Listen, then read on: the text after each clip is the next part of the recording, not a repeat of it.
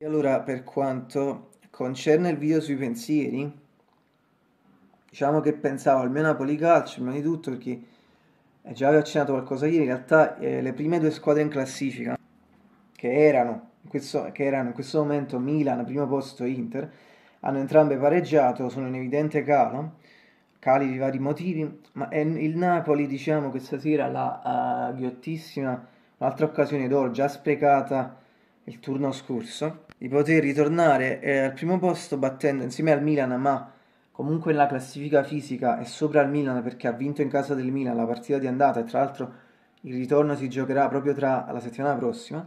Comunque avrà la possibilità di ritornare al primo posto in classifica e quindi proprio al primo posto in assoluto. Anche se la partita è molto complicata perché sarà in casa della Lazio e eh, con un allenatore, l'allenatore che abbiamo avuto in passato, diciamo 3-4 anni fa, Sarri, che eh, è stato quello che più si è avvicinato a farci vincere il campionato, l'ultimo anno in particolare suo, con, tra l'altro ha battuto anche il record di punti, ha raggiunto anche il record di punti per il campionato del Napoli, una somma di 91 punti mai raggiunta da nessun altro. E comunque quello scudetto praticamente la, per le ultime giornate avremmo potuto vincere, ma poi, diciamo così, abbiamo avuto un po' paura, ma anche per altri motivi legati alla Juventus, una società eh, pericolosa, diciamo, dal punto di vista sì, dell'illecito, eccetera. Uh, purtroppo non è stato possibile vincere quel campionato, ma io lo considero comunque vinto. Ad ogni modo, questa è un'altra occasione ripetibile. Speriamo appunto che da stasera riusciamo a vincere, anche perché siamo usciti dalla Coppa Europea contro il Barcellona. Eh, già si sapeva che, per quanti non lo credessero, perché il Barcellona non è la stessa squadra di 10-11 anni fa, in realtà io l'ho sempre creduto, quindi che, com- che comunque anche quest'altra squadra fosse forte in ricostruzione, ma, ma di nuovo forte e quindi, eh,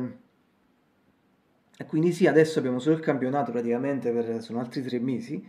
Io credo che altre 12 partite, cioè 11 compresa quelle adesso, quindi 12,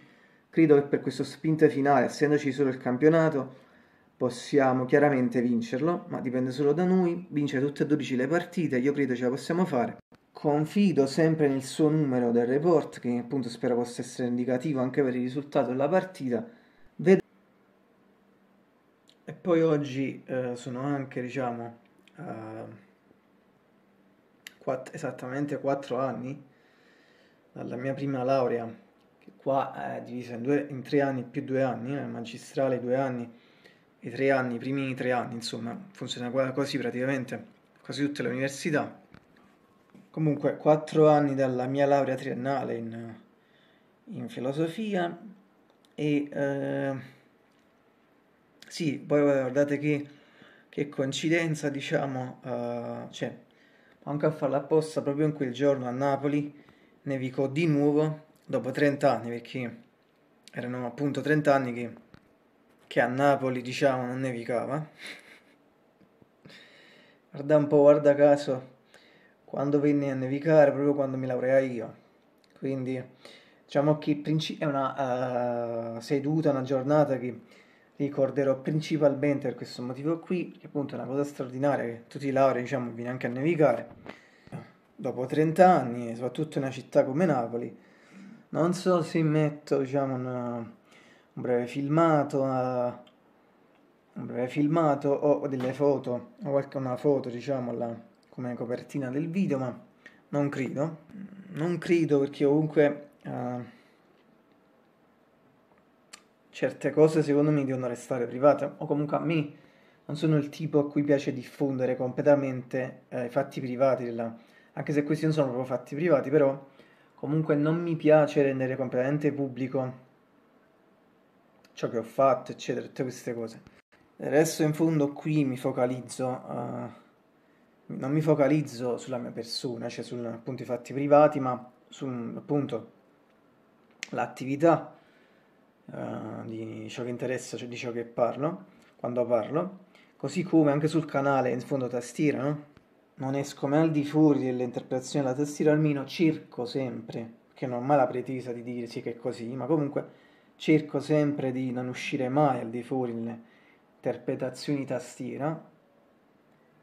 o comunque cose inerenti sempre alla, alle musiche, insomma,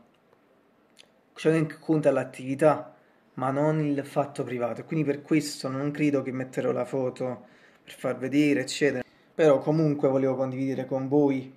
la notizia di questo, di questo momento, diciamo. Uh, sì, solo su che cosa fu la tesi, uh, su Cartesio, diciamo. Però adesso proprio non mi ricordo niente, mi ricordo nemmeno il titolo, dovrei andare a riprendere in mano. Ma la tesi proprio cartacea fisica, ma non mi ricordo. Però appunto era su Cartesio, insomma, un po' sulla filosofia Cartesio, ma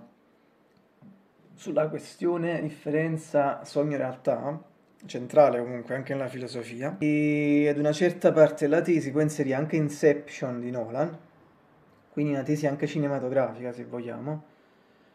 Sì, ehm, se mi sbaglio è... Il titolo era Dubbio, mens, sogno, due punti, osservazioni sul pensiero moderno e su una sua trasformazione visiva. Appunto dove questa trasformazione visiva stava proprio per il fatto che l'oggetto della tesi a un certo punto si riferì appunto ai film, a Inception di Nora in particolare, però poi fece anche dei confronti con altri ehm, film che riflettono questo rapporto sogno-realtà, questa differenza, e se non erro pure inserì anche Mulholland Drive, il maestro, quindi quindi il maestro deve essere fiero di questa citazione, oltre al fatto che lo ringrazio perché poi non, sa- non saprei diciamo, come avrei riempito quelle pagine, diciamo più o meno finali della tesi, se non avessi eh, visto Mulholland Drive e quindi non ci fosse stato lui. Lo stesso discorso vale anche per la tesi magistrale, dove in realtà inserì proprio una nota finale. Uh, il fatto che Ben Hurn, adesso ricordo esattamente l'episodio, comunque una, un episodio della seconda stagione,